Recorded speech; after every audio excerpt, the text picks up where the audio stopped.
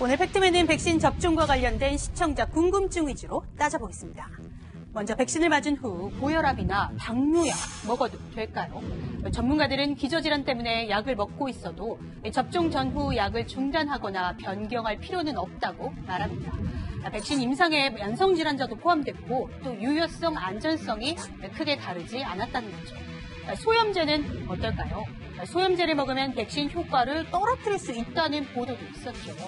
최근 예일대 연구진이 통증, 염증 완화에 자주 쓰는 NSAID가 코로나19 백신 면역 반응을 변화시킬 가능성이 있다 언급한 건 맞지만 임상시험으로 증명된 건 아니고 아직 이론적 가능성인데요.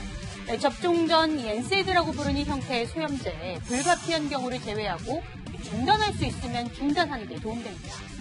접종 후 이상 반응이 있다면 아세트 아미노펜 성분의 진통제 등 복용 가능합니다.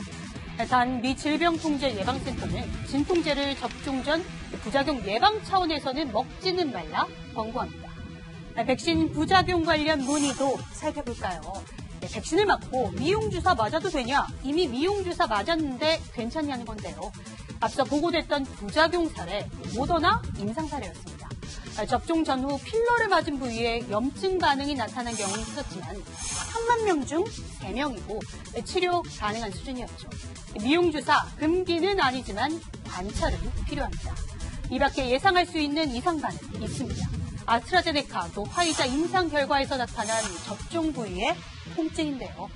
통증에는 온찜질, 냉찜질 뭐가 좋을까요? 깨끗한 수건을 차갑게 덮어서 덮고 이 팔을 움직이는 게 좋습니다. 최소 3일간 관찰이 중요한데 39도 이상의 고열 또 알레르기 반응이 나타나면 진료를 받아야 합니다. 이 밖에도 궁금한 점은 팩트맨 많은 문의 바랍니다.